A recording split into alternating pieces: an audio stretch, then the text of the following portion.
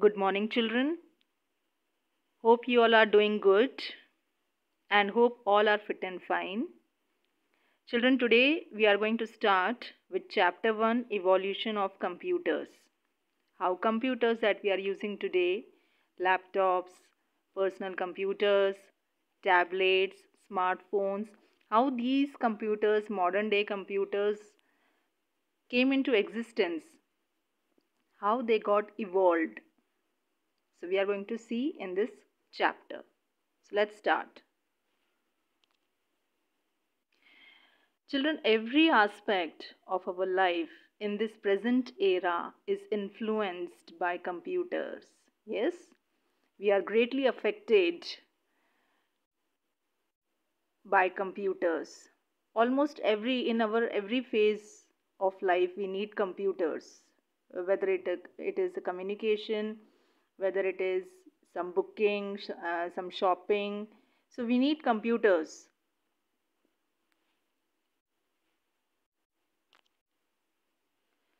The widespread use of computers has made them indispensable at almost every workplace.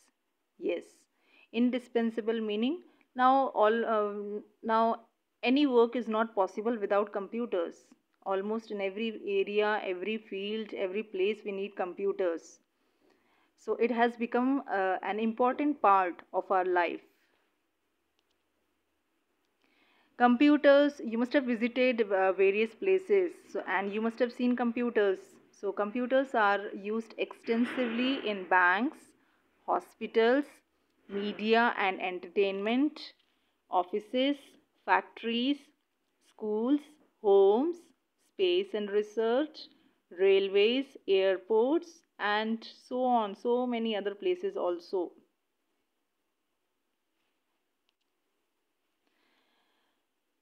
So, children, do you know the term computer has been derived from the word compute, which means to calculate.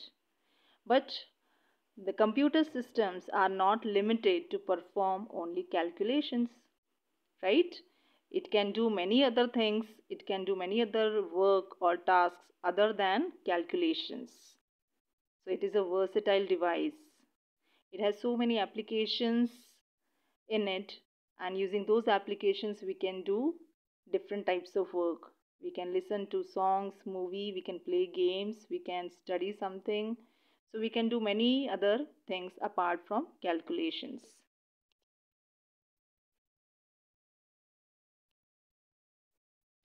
but children do you know how these computers came into existence see the present day computer is entirely different from the earlier devices that were invented for doing calculations.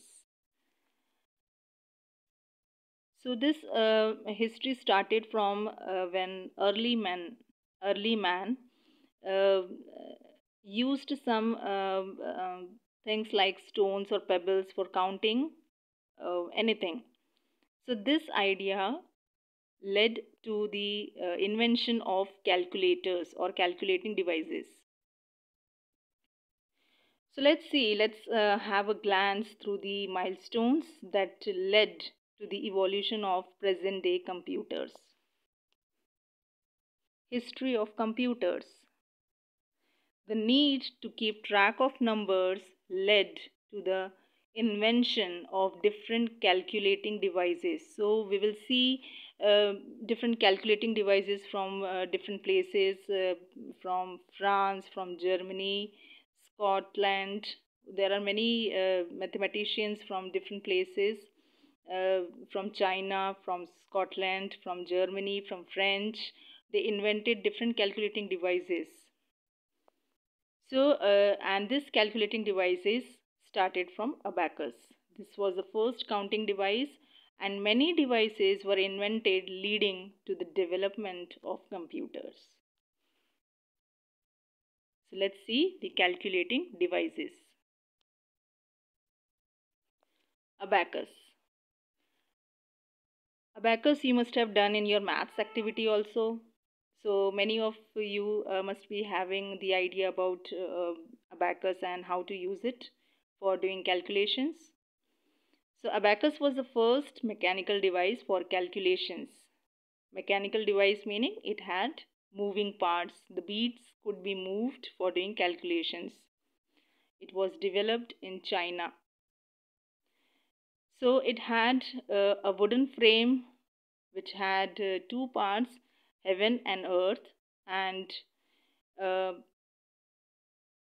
heaven in heaven uh, the rods had two beads and the rods in earth had five beads so the rods represented the place value of digits and by moving the beads we could represent the numbers and we could do the calculations.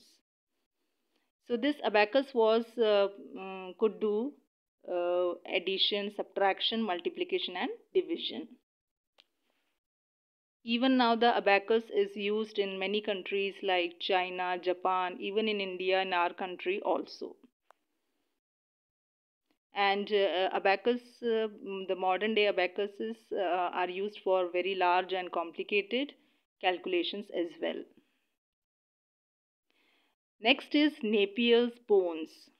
Napier's bones was invented by sir john napier who was a scottish mathematician in 1614 now this device was made up of rods which on which the numbers were marked.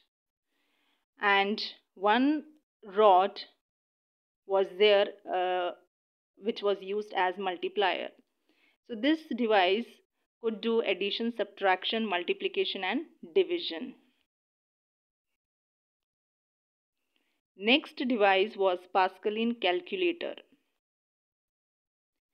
Blaise Pascal, who was a French mathematician, invented the first mechanical calculator at the age of 19 in the year 1642. That's quite appreciating. Now, this uh, calculator had gears, wheels, and dials. The numbers were displayed by rotating the wheels Gears were used to control the wheels and dials. How much uh, the wheels to be moved, uh, the dials were used for. Now this calculator was capable of uh, performing addition, subtraction, multiplication and division. So the principle, this gear principle gear principle uh, children you must have also heard in case of vehicles right? Uh, in auto rickshaws in um, taxis uh, in our vehicles there there are speedometers okay? So meters they could uh, show us the distance right? Uh, they could show the fare also. In taximeter the fare is also displayed. So that was the device uh, which could um, measure the distance okay and according to the distance the fare was calculated. So this gear principle uh, was further employed in many mechanical calculators. Next is step reckoner. This is also called as Leibniz calculator Leibniz the famous German mathematician invented a calculator which he named as Step Reckoner in 1674. Now, uh, this uh, Leibniz calculator or the step reckoner was an improvement over Pascaline calculator. Pascaline calculator could do addition, subtraction, multiplication and division. Uh, so the improvement on over the uh, Pascaline calculator was now this step reckoner could also do square roots.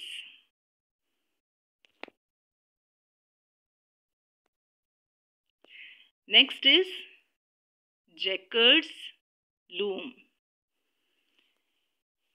In 1801, Joseph, Joseph Jacquard, a French inventor, weaver, and merchant, invented a power loom for weavers which could weave fabric designs. So, fabric designs uh,